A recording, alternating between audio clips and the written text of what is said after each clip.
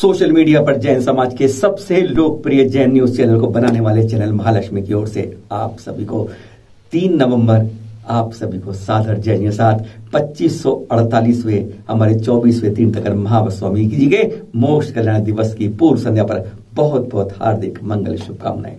सभी के जीवन में समृद्धि आए, सुख आए, शांति आए। पर्यावरण हित मैत्री बने हम। हम वात्सल्य और प्रेम की रसधार छोड़ सके। हम आपस में वैमनस्य को खत्म कर हम उस मार्ग पर चढ़ सके जो संत और साधु हमें आज बताते हैं। वही महावीर के लाल लघुनंदन आज हमें दिखाते हैं कि कभी किसी का बुरा मत करो। यह पंचम काल है। यहाँ पर दुख और सुख का पहिया चलता रहता है। अगर आज तुम्हारे पास सुख है तो ध्यान रखना कल दुख भी आएगा। और जब दुख आया है तो वह सुख भी आएगा। ऐसी घड़ियों में कभी घबराना मत। त्याग और तपस्या की मूर्तियाँ हमें आज यही समझाती हैं कि इन दुख की घड़ियों में इतने मत हार जाना कि कल तुम अपने जीवन को छोड़ने की बात करने लगो। ऐसे ही संत जब बताते हैं, पर जब ऐसे ही संत अपने ही अपनी बात बताने वाले देश को, समाज को, लाखों करोड़ों को बताते बताते खुद इस कदम की ओर चल देते हैं तो सचमुच समाज के लिए चिंता की बात है। सचमुच ये समाज और देश के लिए खतरे की घंटी का सूचक हो जाता है। कौन है उनको इतना प्रताड़ित कर देता है कि वह ऐसे संत जो कि ना परिग्रह होता है, ना अपनी दुकान मकान है, ना उनके पास कोई और टेंशन है, ना घर है, ना बाहर है धाम है, और फिर क्यों वे इतने परेशान हैं? आज 30 अक्टूबर 2018 भागलपुर में मुनि श्री विप्रण सागर से लेकर 30 अक्टूबर 2021 आचार्य श्री विमल सागर जी, इंदौर के अंदर यह घटनाएँ घटी हैं। छह घटनाएँ और पाँच का अतीत यह कहता है कि आत्महत्या और सुसाइड कहकर पुलिस ने वह फ़ाइल बंद कर दी। हम नहीं चाहते कि छठी बार भी ऐसा हो और फिर यह सिलसिला आगे भी चले। इस पर विराम लगना ज़रूरी है और इसके लिए हमें समाज की आवाज़ चाहते हैं, क्योंकि कौन दोषी है? चाहे मैं हूँ, चाहे आप हो, चाहे तीसरा है होता है, वह सामने आना चाहिए। आज कलक लगाए समाज के ऊपर, क्योंकि प्रताड़ना करने वाला समाज का भी कोई शख्स होते हैं। और हम शुरुआत करते हैं इस सारे घटनाक्रम के ऊपर, पर्दा पर्दा खोलने की कोशिश करते हैं। शुरुआत में तीस अक्टूबर दो हज़ार इक्कीस की साय पाँच बजे की घटना, साढ़े पाँच बजे तक सूचना मिल जाती है उनके ज्येष्ठ भाई और परिजनों को। श्री संतोष जी को सागर में।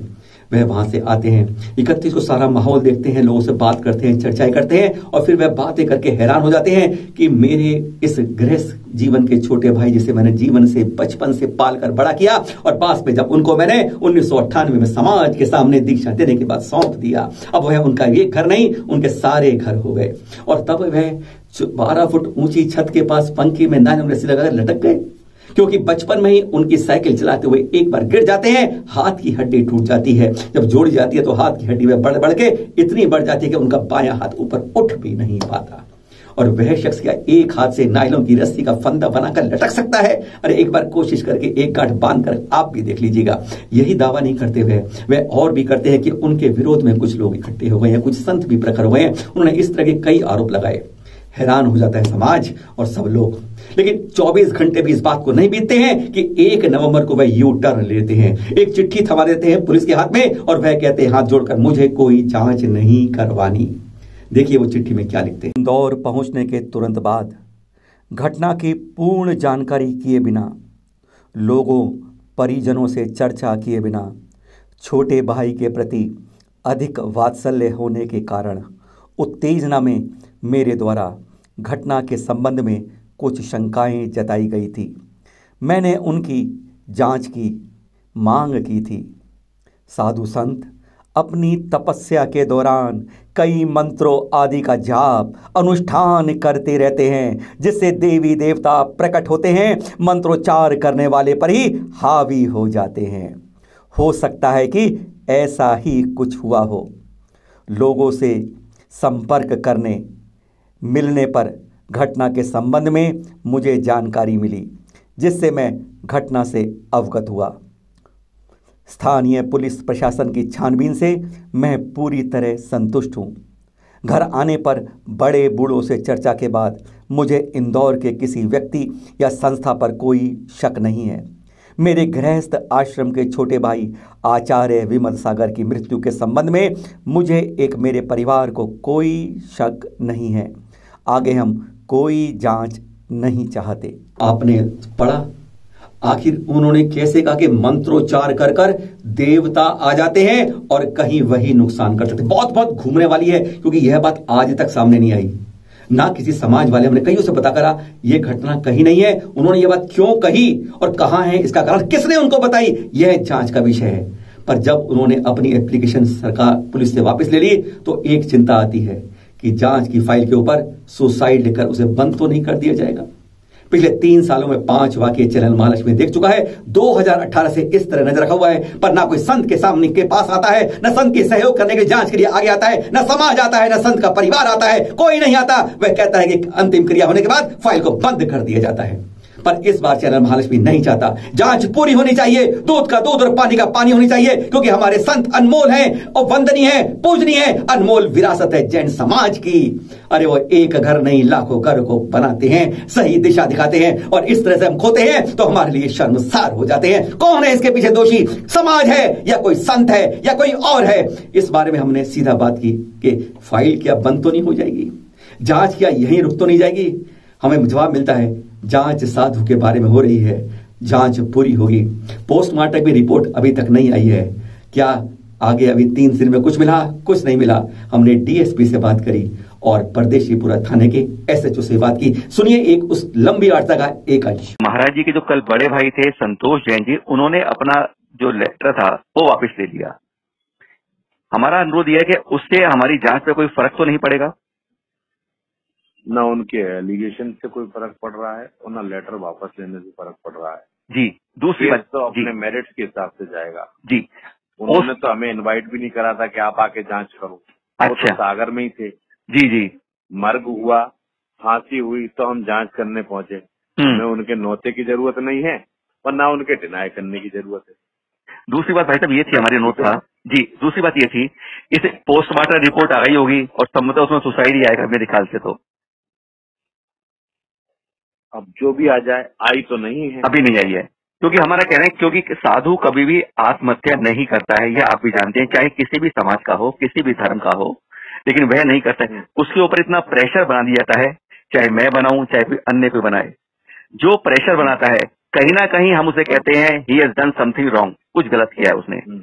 हमारा यह है कि हमारी पुलिस से विनम्र अनुरोध यह है कि उसमें जाँच ऐसी हो जाए जिसे हमारे कोई भी हिंदू धर्म का हो वैष्णव का हो सिख का हो जैन का हो आगे साधु इस तरह से प्रताड़ित नहीं हो किसी समाज में किसी लोग के द्वारा।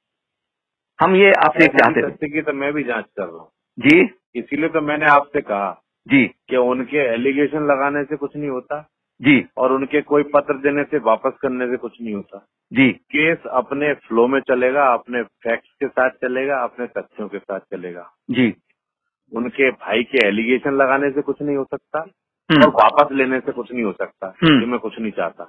हम्म। उनके चाहने ना चाहने से कुछ नहीं होता। जी। जो फैक्ट होगा उसी के आधार पर होगा जो भी होगा।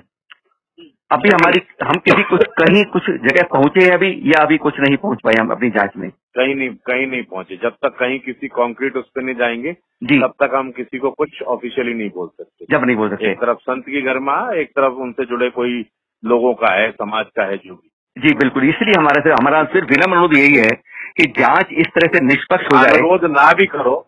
जी। अनुरोध ना भी करो तो मैं मेरा काम ही करूँगा। ठीक बात है बस। मुझे कोई फ़र्क नहीं पड़ता कि उनका भाई मुझसे क्या कहता है। जी। किसी पे आक्षेपण लगाता है तो मुझे फ़र्क नहीं पड़ता। हम्म। अपनी चिट्ठी वापस लेता तो मुझे फ़र्क नहीं पड़ता। हम्म। मीडिया में क्या कहता है तो मुझे फ़र्क नहीं पड़ता। हम्म। उनका भाई तो सागर में रहता है ना। हाँ बिल्कुल बिल्कुल। घटना तो मेरे यहाँ हुई है। हाँ बिल्कुल आपकी हुई है प्रदेशी पूरा में हुई है उनके उनके भाई के कहने सुने काम चल हम्म, हम्म। अब उस दिन की बात करते हैं। 30 अक्टूबर 2021 प्रातः नौ बजे आचार्य ऋषि के प्रवचन रोज की तरह होते हैं। उसी अंदाज में उसी मद मान आनंद करते हुए सबको प्रवचन सुनाते हैं।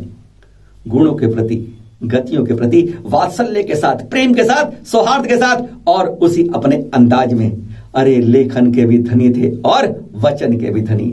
ऐसी शैली बोलने की हर कोई मंत्र मुक्त हो जाता था। हमने कई जगह बात करके पता भी चला और उन्होंने इसी तरीके बाद फिर आनंद यात्रा हुई। हर कोई खुश, ना माथे माथे पर शिकंद है। ना माथे पर टेंशन है, कोई पसीना नहीं है, कोई चिंता नहीं है, क्योंकि जेब में कुछ नहीं है, ना अंटी है, ना शंटी है, ना कोई परिग्रह है, ना कोई धाम है। बिल्कुल मुस्कुराते रहे, फिर ऐसा फिर आहार के बाद चले, और आहार के बाद ऐसा क्या हो गया, जब वह कमरे की ओर बड़े थे। यानी बारह बजे से लेकर पाँच बजे तक क्या घटनाक्रम हुआ, यह हमने बात की उनके सेवादार अनिल से, जो नौ साल से उनके साथ है। कहीं किसी से संपर्क करना हो, अनिल फ़ोन मिला के बात करता है, जो आचार्य श्री कहते हैं। कोई काम होता है, अनिल से कहते हैं। कहीं जाना होता है, अनिल को बताते हैं। कुछ करना होता है, अनिल को बताते हैं। यानी सारा राजदार अनिल है। इससे बड़ी मुश्किल से बात हो पाई और उसने घटनाक्रम बताया बारह बजे से पाँच बजे तक। क्या हुआ था उस दिन? वह पूरा आपको बताता है। और पर इसमें एक प्रश्न चिन्ह जाता है कि बारह से पौने दो के बीच में ऐसा क्या हुआ कि आचार्य ऋषि इस जगह पर इस घटनाक्रम के अंदर वहाँ तक पहुँच गए। सुनिए जरा अनिल से वह बात। वह पाँच घंटे। तीस तारीख को जो हुआ तो तीस तारीख का हम आपको बता रहे हैं। हाँ। कि पूरी सब क्रिया हो गई सवा बारह बजे शीतल प्रसाद जैन जी हैं अध्यक्ष। जी यहाँ के अपने नंदानगर के। नंदानगर की। तो हाँ। वे और दो तीन लोग और दूसरे महाराज जी को छोड़ने आए। दूसरे महाराज जी को अच्छा आहार के करने के बाद से बाहर से। आहार करने के बाद छोड़ने आए। उस दिन तो छोड़ने आए तो हम तो अपने कमरे में थे हमने देखा हमने कौन कौन बैठे। तो अध्यक्ष और दो तीन लोग और बैठे जो कुछ बातचीत कर धोती दुपट्टा पहने थे वे लोग। जी। ठीक है ना? धोती दुपट्टे में अब हमने तो मालूम नहीं है क्या चर्चा चल रही क्या नहीं चल रही ऐसे सब लोग आते हैं बैठते हैं। हाँ। और गेट खुला था गेट बंद नहीं था जब बंद हुई। ठीक है। इस तरह को दोपहर में सब बारह के आसपास खुला था। तो हम्म। अब अध्यक्ष समाज के अध्यक्ष तो अपन क्या मालूम कोई कार्यक्रम की चर्चा चल रही है कोई चर्चा हो तो क्या मालूम हम्म। तो उन्होंने चर्चा चर्चा करके वहाँ अपने सामान में बैठ गए अंदर। ये कितने बजे की बात होगी सामान के बैठने की? हम्म, सवा बारह बजे की। नहीं बारह बजे तो वो आए सवा लोग आए थे शांति वो जो अध्यक्ष थे और दो तीन लोग आए। कितनी उससे चर्चा कितनी देर हुई? बारह बारह बारह बजे की जब सब चर्चा बारह सवा बारह बजे में करके अच्छा। मैं बैठ गए पंद्रह बीस मिनट चर्चा बैठ गए जो पाँच दस मिनट जो चर्चा भई हुई। ठीक है। जब हो गई फिर इसके बाद गुरु जी सामने बैठ गए हम अपने कमरे में जाके सो गए। ठीक है। सो गए तो गुरु जी आए हमारे कमरे में पौने दो बजे। आचार्य श्री आए? हाँ हम अपने कमरे में सोए तो हमारे कमरे में आए। आचार्य श्री पौने दो बजे आपके कमरे में आए? हाँ दिन में। दिन में। दिन की बात है ना? हाँ, तो उनने हमको आबादी के अनिल हम उठे हमने कहा कल किसी का कोई के बाहर से फ़ोन वोन तो नहीं आए? हमने कोई के फ़ोन नहीं आए हैं। हाँ। बोले तो तुम उठो दो तीन फ़ोन लगाओ। हम्म। तो हमने फ़ोन लगाए। हम्म। एक तुलसी नगर के अध्यक्ष को एक जो जिनवा किनको लगाए? अध्यक्ष आर के जैन। कहाँ के अध्यक्ष आर के जैन? जे, जे तुलसी नगर की। तुलसी नगर के ठीक है। तो उनने बोला कि बोलो कि दिन हो गए आए नहीं है और आओ तो दो चार जने आओ और दर्शन करने और पधारो। तो उन्होंने बोला कि भैया हम बाज़ार में हैं और शाम के पाँच से छह के बीच में हम लोग बाज़ार से लौट के आ रहे हैं। अच्छा बोला। आर के जैन जी ने कह दिया ठीक है। इसके बाद उन्होंने की अपना चार बजे आज शाम को बिहार हो सकता है आज नहीं होगा तो कल सुबह बिहार होगा। कहाँ के लिए? कहीं जगह कुछ नहीं कहा। अच्छा ठीक है। हमने ठीक है हमने इतना पूछा। हमने इतनी जल्दी क्यों अपना तो यहाँ से सीधा गुमास्ता नगर जाना है। हाँ। हम्म, तीन तारीख को। कहीं गुमास्ता यहाँ तो तीन ही चार दिन का था तो तीन चार दिन हो गए अपन दो तीन दिन का है तो कहीं कॉलोनी में कहीं भी अपन रुक जाएँगे। ठीक है।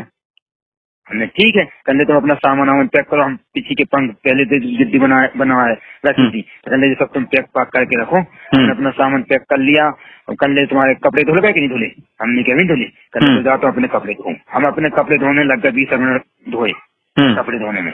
हम ऊपर आए सब हमारे महाराज लोग दीदी हैं बैठी हॉल में।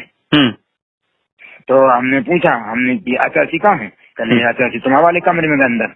हमने अच्छा हमने जो है तो हो जाते भाई घंटा दो दो घंटा तक तो कमरा बंद रहते कि भाई कुछ शरीर में अनुकूलता नहीं होते या थकान हो तो लेट जाते कुछ भी है। वो हम्म। जैसे जब करते थे। हम्म। जैसे बारह से तीन तक उनका कमरा बंद रहता था। हम्म। चतुर्मास गुमास्ता नगर में। अगर कोई जैसे आदमी आ जाता करने आबाद दे रही तो उन्होंने गेट खोल दिया। ठीक है।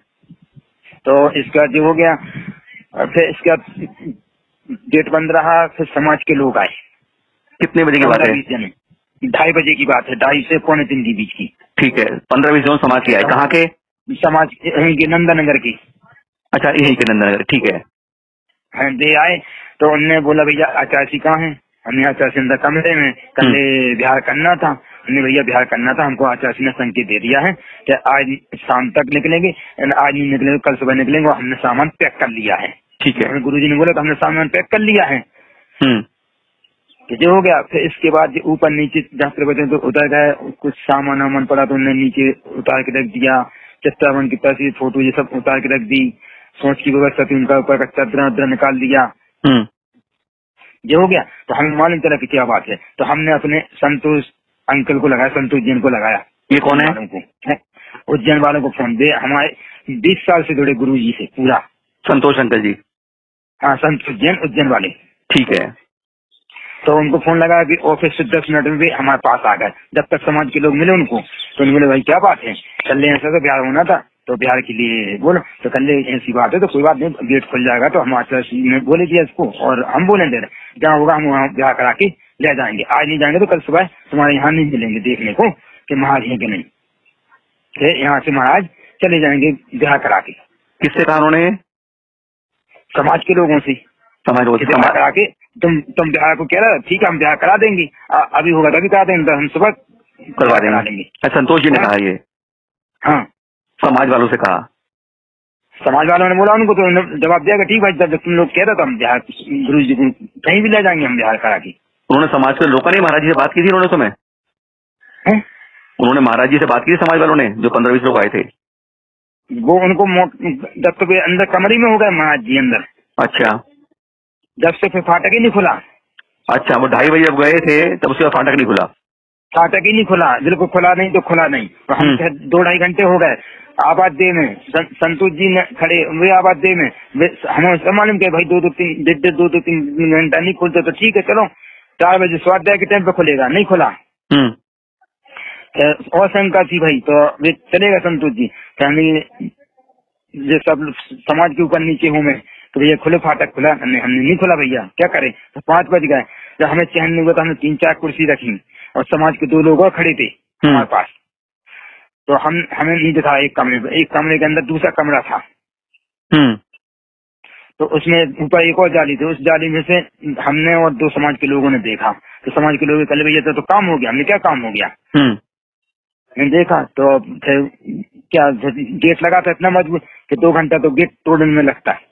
तो इसके बाद गेट तोड़ने में लगा। गेट नहीं तोड़ा वो तो जा रही थी तो गुतान होती ना। हाँ। तो वो लोहे की गुतान से तो चलते पकड़ के। तो छुल्लक जी गुतान से खोल के कुंजी फंसा के गेट खोला। हम्म। गेट खोल के देखा एक अंदर कमरा था फाटक ऐसे लटके थे कुर्सी से। हम्म, हम्म। तो वो धक्का दिया तो वो खुल गया। तो उसके अंदर देखा तो नाक से खून डरा था और लटके मिले हमें। अच्छा। बस वो कुछ नहीं के अलावा कुछ नहीं समाज के लोग दो तीन थे उन्होंने हल्ला दिया समाज के लोग देख देख के सब भग जाए फिर जिसने भी फ़ोन लगाया पुलिस को पुलिस आ गई। पिछले तेईस साल के दीक्षा जीवन में उन्होंने गजब की अपनी शैली तप त्याग से हर का दिल जीता है। कलम के धनी लिखने में बोलने में वचन की शैली ऐसी आनंद देती कि हर कोई मंत्रभूत हो जाता। हमने उनके विभिन्न पिछले चतुर्मासों के कुछ लोगों से बातचीत की, हर कोई उनकी प्रशंसा करते थकता नहीं। अरे ना जिसके पास धाम है, ना कोई परिग्रह है, ना मकान है, ना दुकान है, ना साथ में परिवार है, कुछ नहीं है तो वह आनंद की तो यात्रा करेगा। फिर ऐसा क्या हो जाता है कि उन्हें इस रास्ते पर आकर इतना नीचे जाकर यह कदम उठाना पड़ जाता है? हर कोई विस्मय है और यह पहचान उनकी इसलिए होती है। अंतिम संस्कार के दृश्य देखिए आप। इस समय 30 से 35 फ़ीसदी यहाँ स्थानीय लोग होते हैं, बाकी 60 से 70 फ़ीसदी के लोग बाहर से आए होते हैं। यह पहचान है उनके चतुर्मासों के अंदर कितना आनंद दिलाते थे। यह पहचान करता है ऐसा क्या कदम जो हर को बचाते थे, हर को प्रभाव ना करते थे, वह ऐसे कदम को उठाने को मजबूर हो जाता है। अरे, अगर साधु गलती करता है तो प्रायश्चित उसका बहुत बड़ा इलाज है। गुरु के पास जाओ, प्रायश्चित दिला दो। समाज यही तो कर्तव्य निभाता है। लेकिन यहाँ पर ना गुरु के पास गए और ना प्रायश्चित की बात कही। यहाँ तो प्रायश्चित की बजाय प्रताड़ित किया गया। कितना प्रताड़ित किया गया कि संत जो सबको समझाता है, खुद ही समझने को नहीं मजबूर हो जाता है। नीचे आ जाता है, यह पहचान कहती है कि समाज में कौन दोषी है, हमें सामने लाना चाहिए। नहीं तो यह गलती एक बार फिर हमारे अगले दरवाजे को खोल देगी। समाज समाज को संभालना होगा कहाँ पर कोई दोषी है, यह हमें सबको निकालकर समाज के सामने, सबके सामने लाना होगा। यह आत्महत्या नहीं। यह हत्या है। हत्या की गई है समाज द्वारा एक संत की। हमारी बात पे मत जाइए। गलत नहीं कह रहे। ये कह रहे, आरोप लगा रहे हैं। एक आचार्य। वह आचार्य जो उनके साथ बचपन में रहे हैं, स्कूल में एक साथ पढ़े हैं, एक साथ दीक्षा ली है, एक चतुर्मास इंदौर में कर रहे हैं, दूसरे बांसवाड़ा में कर रहे हैं। आचार्य विभव सागर जी 14 दिसंबर उन्नीस सौ अट्ठानवे को दोनों ने दीक्षा ली थी। एक ही आचार्य विराग सागर जी से, एक दोनों बड़े, और वह जानते हैं इनके बारे में। उन्होंने यह बातें जो कही हैं, जो आप सुनेंगे, इन्होंने यह बात एक नवंबर को श्रद्धांजलि सभा में की। उसका वीडियो बना और जारी भी हुआ, लेकिन 12 घंटे के अंदर उसको हटा दिया गया। यह यू टर्न क्यों हुआ, इस बारे में आप सोच लीजिए, पर यह क्या क्या कहा, उसके कुछ अंश आपको दिखाते हैं। हैरान हो जाएँगे, रोंगटे खड़े हो जाएँगे, जब सही बात को सुनने में हमारी हिम्मत निकल जाएगी, क्योंकि दोषी हम हैं। संत नहीं हैं। यह आत्महत्या नहीं, यह हत्या क्यों हो गई है? सुनिए जरा, उनके हमने कुछ अंश आपको आज दिखाते हैं। पूरा वीडियो चैनल महालक्ष्मी के पास है। यदि साधु से कोई भी त्रुटि हो जाए तो उसका गुरु तो जीवित है। गुरु के पास तो उसकी बात पहुंचाना चाहिए थी। गुरु जी कुछ उपाय खोजते गुरु जी कुछ बोलते, लेकिन समाज ने गुरु को भी नहीं बताया और इतना संकलेश पैदा कर दिया। कितना संकलेश दिया होगा, क्योंकि ये इतना कठोर कदम यदि कुछ उठाया है तो ज़रूर इतनी पीड़ा भी मिली होगी। क्या पीड़ा मिली होगी? कैसे बचनों की पीड़ा मिली होगी? कैसे बचनों के तीर उनके हृदय में जाकर चुभे होंगे?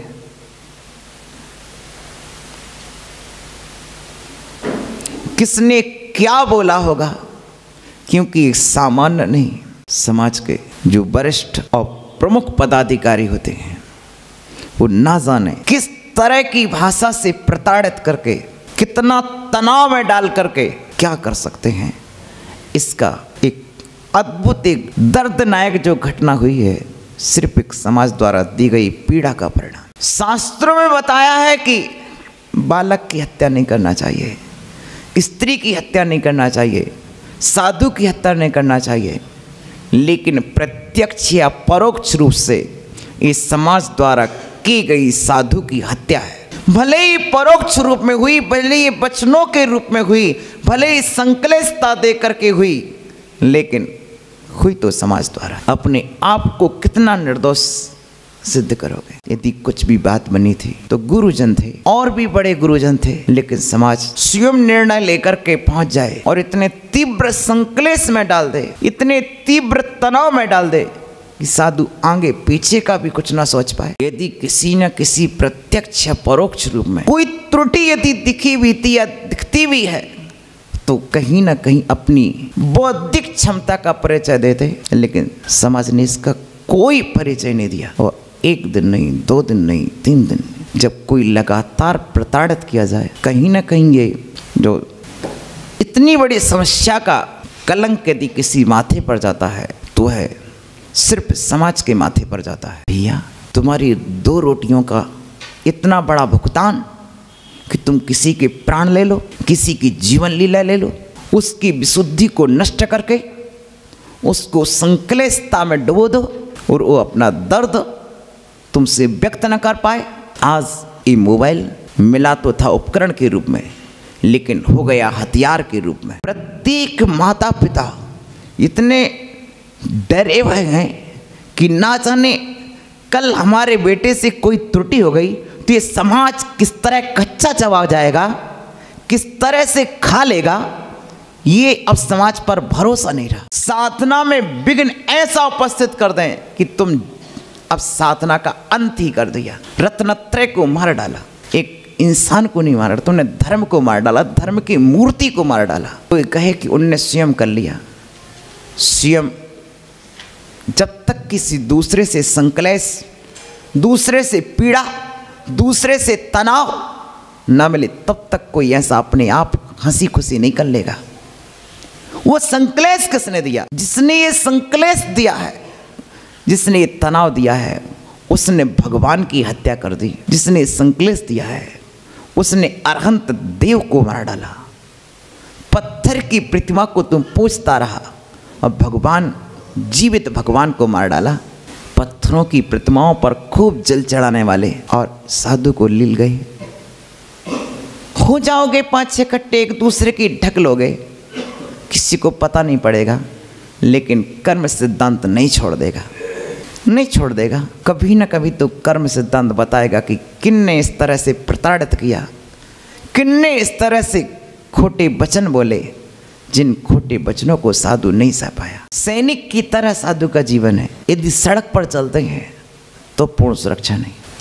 वो तो चलो, फिर भी अपना सावधान चर्या में आ जाएगा। लेकिन समाज के बीच में, धर्मशाला के मध्य में, मंदिर के भीतर ये स्थिति घट जाए तो इससे बड़े दर्द और कष्ट की कोई बात नहीं होगी। युगों युगों तक किस कलंक को धोया नहीं जा सकता। इतना बड़ा एक लाख की आबादी जहाँ पर जैन समाज की हो, एक लाख से दो लाख की आबादी। इतनी विशाल जैन समाज की आबादी वाले शहर में यदि दो भी प्रबुद्ध आदमी होते तो इस साधु की हत्या न। एक सवाल प्रश्न चिन्ह छोड़ जा रहा है, हर कोई यू टर्न क्यों लेता जा रहा है? उनके गृहस्थ जीवन के बड़े भाई कई दावे करते हैं, मज़बूत दावे करते हैं, पर अगले ही दिन यू टर्न ले लेते हैं। बात को कहीं और मोड़ लेते हैं कि देवता उनके मंत्रोच्चार से आते हैं, कहीं उनका द्वारा यह अनिष्ट तो नहीं किया। उनका सेवादार जो नौ साल से उनकी वफादारी से सेवा करता है, जो हर काम में उनके साथ रहता है, हर सांस में उनके साथ रहता है, वह कुछ और बातें करता है कि आचार्य श्री, अब चलना चाहिए। समाज आपको बदनाम कर रहा है। अगले दिन वो कहता है, मैंने तो ऐसा कहा ही नहीं था। आचार्य श्री विभव सागर जी, जो इस श्रद्धाई सभा के अंदर बहुत कुछ कह रहे हैं और बहुत कुछ कह रहे हैं। बारह घंटे में उनका वीडियो हटाने को दबाव कौन बनाता है? है ना कोई ना कोई। यही दबाव चैनल महालक्ष्मी पर रविवार को भी आया था। सभी जगह पोस्टों के अंदर आ गया था कि चैनल महालक्ष्मी शरद जैन सबको बदनाम करेगा और इस तरह की बातें करेगा। एक दबाव इस तरह का बनाया गया कि वह इसको नहीं दिखाए, क्योंकि लगता है कि कहीं ना कहीं जाँच के बारे में आगे बात बढ़ेगा पर चैनल महालक्ष्मी गलत के सामने कभी झुका नहीं है और कोई खरीद आ जाए कभी बिका नहीं है। सच की आँच नहीं और कभी भी प्रत्यक्ष को प्रमाण की आवश्यकता पड़ती, क्योंकि हम हमेशा सत्य को साथ लेते हैं। यह कलम हमारी कभी बिकी नहीं है, न कभी बिकेगी। जाँच के लिए हम ज़रूर कहेंगे, जाँच होनी चाहिए। गलत को गलत करके पहचान करनी होगी। दोषी कौन है? आज सारे समाज पर कलंक लगा है। उस कलंक को मिटाने के लिए उन गलत लोगों को जिन्होंने प्रताड़ित किया है, जिन्होंने यह आत्महत्या नहीं, हत्या का स्वांग रचा है, उनको सामने लाना होगा। फिर मिलेंगे कल आपके साथ। एक बार फिर आपको पच्चीस सौ अड़तालीसवें श्री महावीर स्वामी के मोक्ष कल्याण दिवस की बहुत हार्दिक मंगल कामनाएँ। सादर, जय जिनी